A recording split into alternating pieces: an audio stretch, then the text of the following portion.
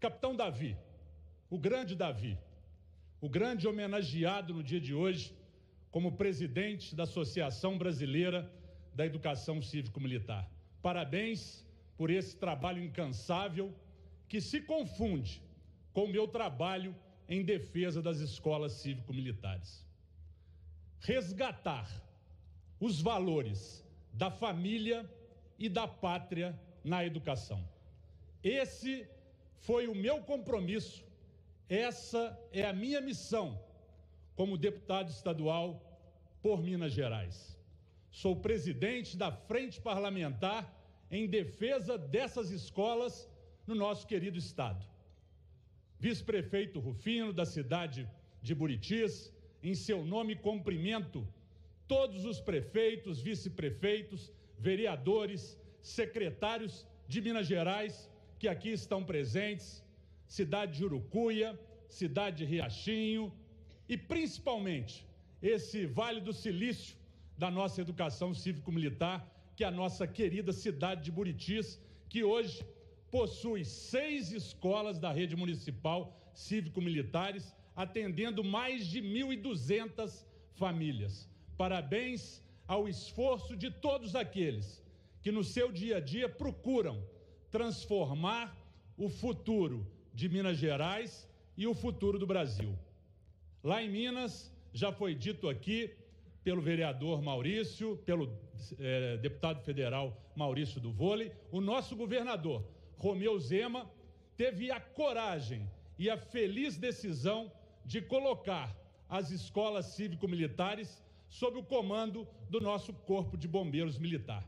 Nós temos lá General Braga Neto, meu comandante, a quem eu saúdo, pela honra de ter Vossa Excelência aqui presente na nossa plateia, nesse Congresso Nacional. O governador Romeu Zema lá administra hoje nove escolas da rede estadual que implantamos no primeiro mandato durante o governo do presidente Jair Bolsonaro. Em 2019, no dia 2 de janeiro de 2019, o primeiro ato do presidente Jair Bolsonaro foi criar dentro do Ministério da Educação, a Secretaria das Políticas das Escolas Cívico-Militares. E desde aquele momento, nós tivemos diretamente envolvidos com essa missão. Nós não abaixamos a cabeça quando, dia 31 de dezembro do ano passado, de 2023, de forma covarde, o Executivo Federal encerrou o contrato de mais de 900 militares das Forças Armadas que serviam as escolas cívico-militares, mais de 200 escolas cívico-militares implantadas em todo o Brasil. Em Minas Gerais, não abaixamos a cabeça e hoje permitimos que 10 mil famílias mineiras continuem tendo o privilégio que vocês têm.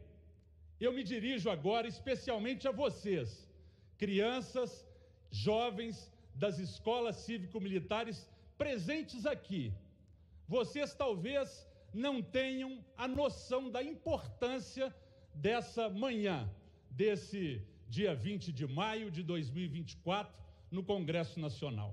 Esse dia será inesquecível na vida de vocês. Vocês irão se lembrar quando estiveram em Brasília, representando a juventude brasileira, a juventude que clama por melhoria na educação. Quando o deputado Maurício fala dos seus investimentos em educação, nunca educação será gasto. Sempre educação será investimento, pois vocês são o futuro do Brasil. Termino, encerro minhas palavras mais uma vez, muito orgulhoso de pela primeira vez falar nessa tribuna sagrada, essa tribuna que pertence ao povo brasileiro, representando aos anseios daqueles que desejam uma educação de qualidade, pautada nos valores, na disciplina, no respeito, no patriotismo e no amor ao Brasil. Desejo a cada um de vocês sucesso, alegria. Encerro com o lema do meu mandato que vamos juntos Nada resiste ao trabalho e a todos vocês a minha melhor continência. Muito obrigado.